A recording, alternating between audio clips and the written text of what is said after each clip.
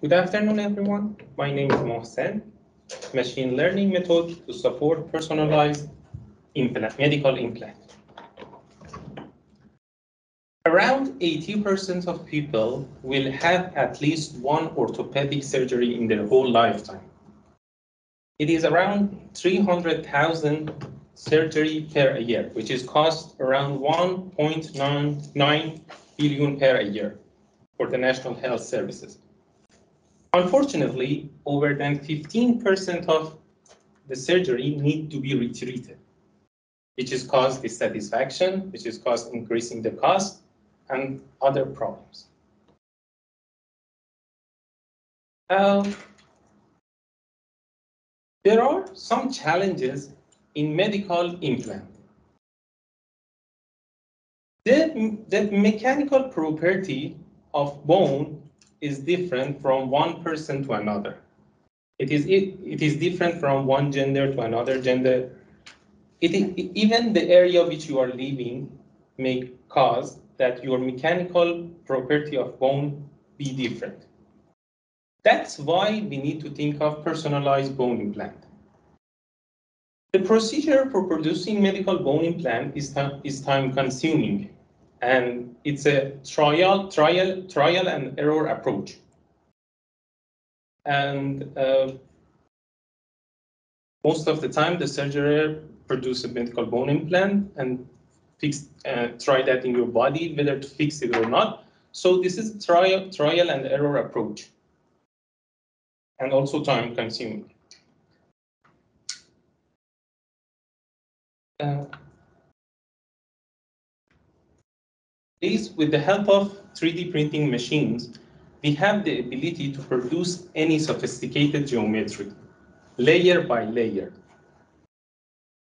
with the help of 3D printing machines. There are four parameters, four important parameters for personalized bone implant. As you can see here, manufacturability, geometry, also integration, and material selection. Different part can be addressed in different field of study, but what we are focusing on, focusing on here is uh, geometry, and specifically we are talking about some mechanical property of the bone, like uh, porosity, shear modulus, and Young modulus. Because bone is a pro is a porous material. In this study, we are focusing on predicting these three mechanical parameters with the help of convolutional neural network in three dimension, a 3D convolutional neural network. As you can see the architecture here, for predicting these three important uh, mechanical property. In order to achieve this goal, we created a database, not uh, a database of 20 different lattice structures for training of our algorithm and also aid for testing. You can see some of the pictures here, some of this lattice process structure.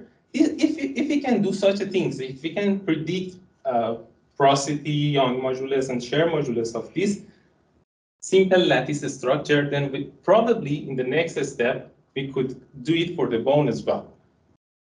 So we created this lattice structure, then we sliced in 20 pictures. So we, we created this, we designed this lattice, this lattice structure, then we design, then we uh, sliced it in 20 pictures to fit in our 3D convolutional neural network algorithm. So as we previously talked, why this type of lattice structure? As I said, porosity is one of the main goal. Uh, bone is a porous material if we be, if we be able to predict the porosity, then we, we may be able uh, to do such a things for bone as well, for this lattice structure, if we can solve this problem in this lattice structure. For designing this lattice, we use SolidWorks, which is a famous, uh, famous software for designing. The dimension of each lattice is 5 millimeter by 5 millimeter by 5. And also we use creation workshop as an slicer to slice the uh, to slice each geometry. For implementing our uh, deep learning uh, algorithm. We use uh, PyTorch, which is a famous framework of deep learning. And like all uh, workflow of PyTorch, we did the same. We, we make our uh, we, we made our uh, data ready. We did resize them uh, in 22 by 22. Then we build our model. We pick our lo loss function as MSE, MSE loss function. Then we train over over the picture we had.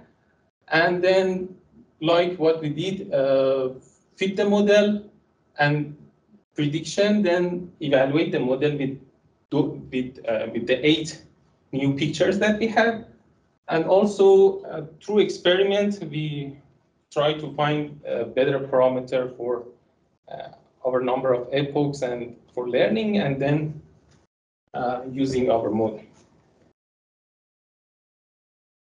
We also, as we know, 20, 20 lattice may not be uh, enough for us.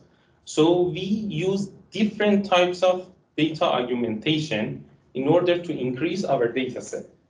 Like famous different data augmentation like resizing, like uh, zooming, and also rotation, different data augmentation in order to increase our data set. And we uh, use our model on the increased data set, like for example, different strategies. Like for example, we have 20 strategies here. The first, our first, uh, our main uh, strategy, then we increase it to different uh, data augmentation, and we tried our model on different uh, on different strategies. Uh, what we are going to do in the next step is we all know the power of uh, deep learning for 3D reconstruction. So we are trying to use deep learning in order to uh, somehow uh, to see if we can uh, if we can use it uh, for 3D uh, reconstruction of bone or not.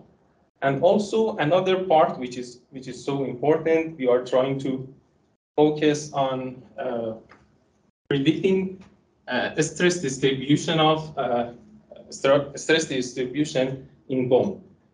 if we can solve this uh, and this this mechanical property, then we may be we may be able to make better personalized bone plan. Thank you so much for listening. Thank you very much for that wonderful presentation. Do we have any question from the audience?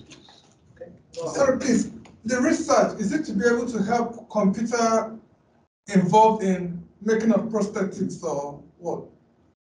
Sorry? Sorry, is the research to, to get computers involved in the making of prosthetics, not prosthetic legs and arms for the bone? Uh, the main the main goal was using deep neural network in order to in order to predict some mechanical property. That was what we did, what we exactly did. So what I'm asking, does it have any business with prosthetics? That's what's the benefit to prosthetics? Now what prosthetics are? What is prosthetics? Like the fake arms, limbs, and the rest. Yes, that is what it is about. Yes, this is, we are, as, as I said, we are talking about personalized bone implant. There is some, uh, as, as I addressed the main issue, uh, we, we cannot make bone we, cannot make bone implant for everyone. That should be something personalized because the property of the bone is different from one person yes, to another. Yes. That's what we think of personalized bone implant. For personalized bone implant, we need to address a lot of issue. As we discussed, the one of them is the mechanical property of the bone is different from one person to another. If we can have a better prediction then we can have a better. Oh, okay, so just to get the computer involved to enable it to make a better prediction to help with the making of whatever it needs to be made. Okay. Uh, thank you. Okay. Any other question from okay. Uh, will we consider the pose like the pose detection of uh, differs from one person to another person. So whenever you you are going to make the implantation of uh, you know the mechanism, will uh, will be considered the pose of uh, which differs from persons. Uh, look, we made our problems so easy. As I said, we are not in the first stage trying to make bone implant. We are trying to predict the mechanical property of some lattice structure, which is so simple. If we can do such a things, then in other stage, we can do such things for medical bone implant as well. But in the first stage, first we need to solve this issue, whether it is possible to do, to predict porosity, to do, to predict uh, uh, young, young modulus, shear modulus, these famous mechanical property in these lattice structures, then we can address, then we can come to, to that question. Any other question from online participants?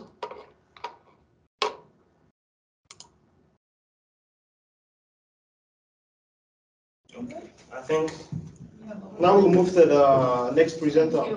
Thank you so much. Thank you very much. for that.